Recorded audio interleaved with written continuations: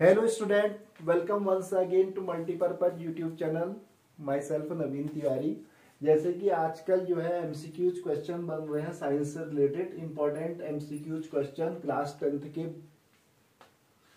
तो इसमें हमने सिक्स क्वेश्चन यहाँ पर साइंस से रिलेटेड बताए थे। आज सेवंथ क्वेश्चन से यहाँ पर स्टार्ट कर रहे हैं। क्वेश्चन नंबर सेवंथ है F E two O three plus two A L is equal to A L two O three plus two F E ठीक है? एफ़ यहाँ पर होता है आयरन एयर होता है एल्यूमिनियम तो फेस ऑक्साइड पर एल्यूमिनियम जब रिएक्शन करते हैं तो एल्यूमिनियम ऑक्साइड प्लस आयरन बन रहा है। तो ये जो रिएक्शन है, कौन सी रिएक्शन है? जैसे हमारे पास चार प्रकार की रिएक्शन होते हैं। तो कॉम्बिनेशन रिएक्शन होती है टेंथ लेवल में चार प्रकार की रिएक्शन है। एक तो कॉम्बिनेशन कॉम्बिनेशन कहलाता है संयोजन। तो कॉम्बिनेशन रिएक्शन में क्या होता है? जैसे ए और बी यदि यहाँ पर दो ही रिएक्टेंट होते हैं, और ये मिलके यहाँ पर केवल एक प्रोडक्ट बनता है, इन दोनों को मिला के केवल एक बनेगा तो ये कॉम्बिनेशन कहलाता है। दो यहाँ पर ए और बी संयोजन करके ए बी बना देंगे तो ये कहलाएगी आपकी संयोजन रिएक्शन जब suppose that C plus O two is equal to CO two तो यहाँ पर ये रिएक्टेंट में कार्बन और ऑक्सीजन जब आपस में रिएक्शन करा तो बन गया कार्बन डाइऑक्साइड टू कहलाता है कार्बन डाइऑक्साइड तो उसके बाद यहाँ पर रिएक्ट जो प्रोडक्ट है, केवल सिंगल प्रोडक्ट बन रहा तो ऐसी रिएक्शन जो होती है, वो कॉम्बिनेशन रिएक्शन कहलाती है. सेकेंड आता है आपका डिकम्पोजिशन रिएक्शन डिकम्पोजिशन रिएक्शन में क्या होता है?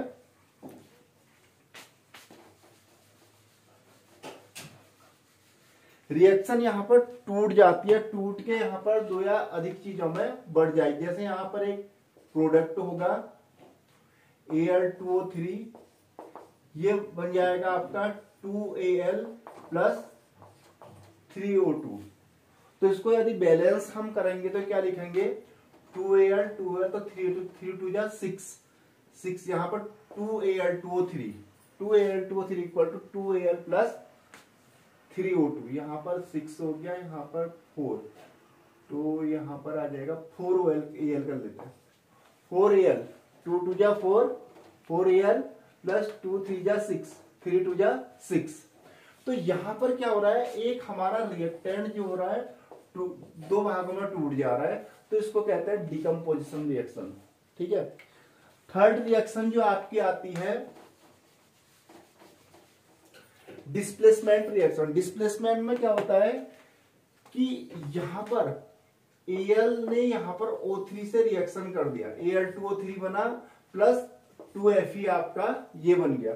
तो ये यहाँ पर जो है डिस्प्लेसमेंट रिएक्शन कराएगी डिस्प्लेसमेंट रिएक्शन को कहते हैं हिंदी में प्रतिस्थापन। इसको कहते हैं प्रतिस्थापन, ठीक है? तो यहाँ पर O3 जो है Al के साथ ऐड हो जाता है और Fe अलग हो जाता है। तो ये रिएक्शन जो आपकी होगी, ये कहलाएगी displacement reaction displacement reaction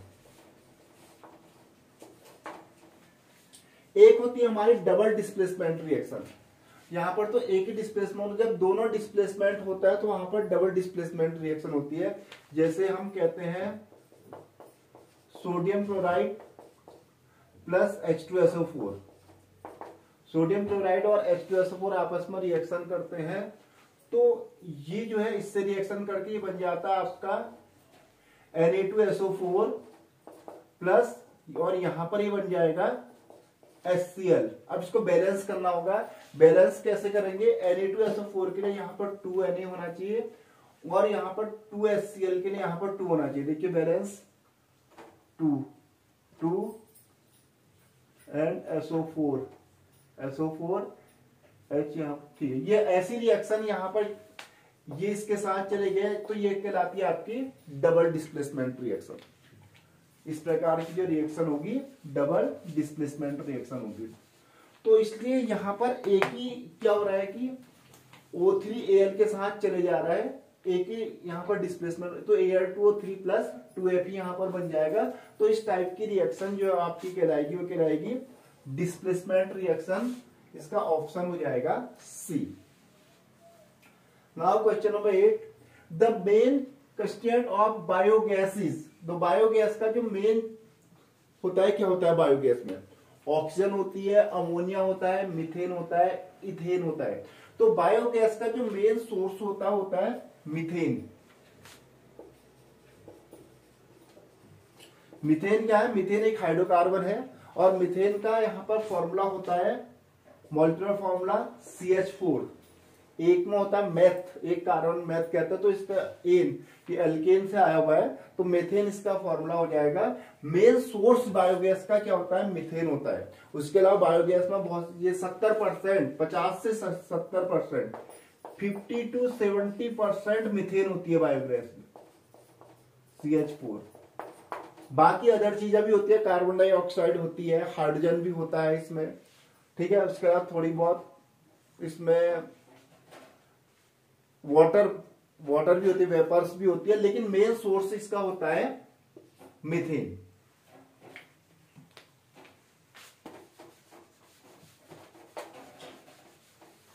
next one is the pH scale of a solution represent pH क्या होता है? पीएच पीएच हमें ये बताता है, जिसको हम कहते हैं हाइड्रोजन आयन सांद्रण. हाइड्रोजन आयन सांद्रण, जिसको कहते हैं हाइड्रोजन आयन कंसंट्रेशन सांद्रण मतलब कंसंट्रेशन तो किसी का पीएच यहाँ पर सात से जब कम होता है तो एसिडिक नेचर का होता है, और कोई किसी का पीएच यदि सात से अधिक होता है तो बेसिक नेचर का होता है। सात जिसका पीएच होता है, वो न्यूट्रल होता है, ठीक है? वाटर का पीएच सात होता है वाटर न्यूट्रल कहलाता है। तो इसमें the pH scale a solution represent hydrogen ion सांद्रण को रिप्रेजेंट करता है। हाइड्रोजन आयन कंसंट्रेशन को रिप्रेजेंट करेगा पीएच स्केल इसका ऑप्शन हो जाएगा थर्ड उसके बाद क्वेश्चन नंबर टेन है। The area surrounding a magnet where its force can be detected is called ये कहलाता है आपका मैग्नेटिक फ़ील्ड मैग्नेट के चारों ओर का वह क्षेत्र जहाँ पर मैग्नेट का इफ़ेक्ट हो रहा है, वो क्या कहलाता है आपका? मैग्नेटिक फ़ील्ड तो इसका ऑप्शन हो जाएगा सेकेंड मैग्नेटिक फ़ील्ड चुंबकीय क्षेत्र जिसको कहते हैं हिंदी हिंदी में। उसके बाद क्वेश्चन नंबर इलेवन है the chemical formula of common salt ये तो मेरे ख्याल से मोस्टली सभी बच्चों को आता होगा। कॉमन सॉल्ट घर घर, हर घर में यूज़ होता है। खाने में जिसको हम यूज़ करते हैं, इसका केमिकल फॉर्मूला होता है sodium chloride Na mean sodium Cl means chloride तो इसको बोलते हैं सोडियम क्लोराइड ओके तब तक आप इन क्वेश्चनों को देखिए. के ऑल थैंक्स फॉर वॉचिंग